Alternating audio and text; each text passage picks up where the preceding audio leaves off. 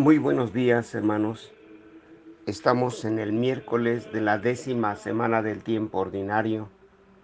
Hoy, en la primera lectura de Reyes 18, 20, 39, es una verdadera escena de película con Elías luchando solo contra 450 sacerdotes falsos de el dios Baal. Estos sacerdotes apoyados por Jezabel Fenicia, adoradora de Baal, y a su vez apoyaban a la reina y al rey en todos sus caprichos y fechorías. Elías, auténtico campeón de la causa de Dios, lanza un atrevido reto a todos y provoca con un lenguaje mordaz y de ironía el triunfo clamoroso de Yahvé. Lo principal es la llamada al pueblo para que abandone la idolatría y se decida ¿Hasta cuándo van a caminar con muletas?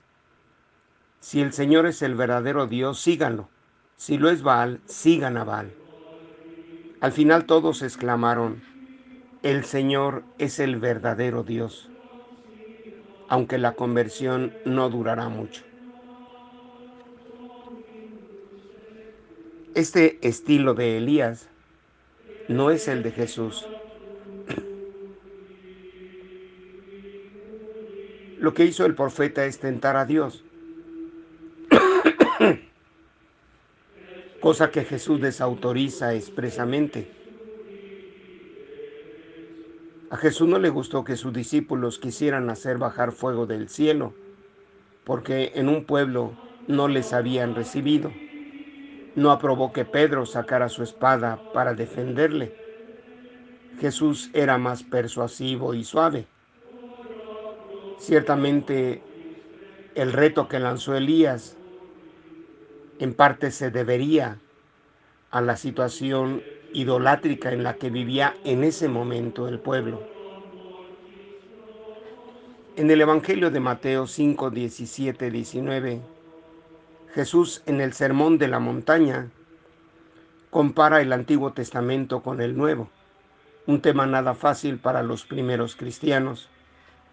Jesús criticó repetidas veces las interpretaciones que se hacían de la ley de Moisés, pero no la desautorizó, sino que la cumplió, invitó a cumplirla, porque durante siglos había sido para el pueblo elegido la concretización de la voluntad de Dios.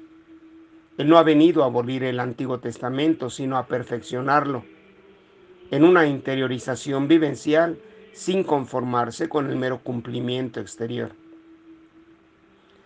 El Antiguo Testamento no está anulado, está perfeccionado por Jesús y su Evangelio. Los mandamientos de Moisés siguen siendo válidos. La Pascua de Israel ya fue salvación liberadora, aunque tiene su pleno cumplimiento en la Pascua de Cristo y en la nuestra. La alianza del Sinaí ya era sacramento de salvación, pero ahora ha recibido su plenitud en el sacrificio pascual de Cristo en la cruz y en su celebración memorial en la Eucaristía.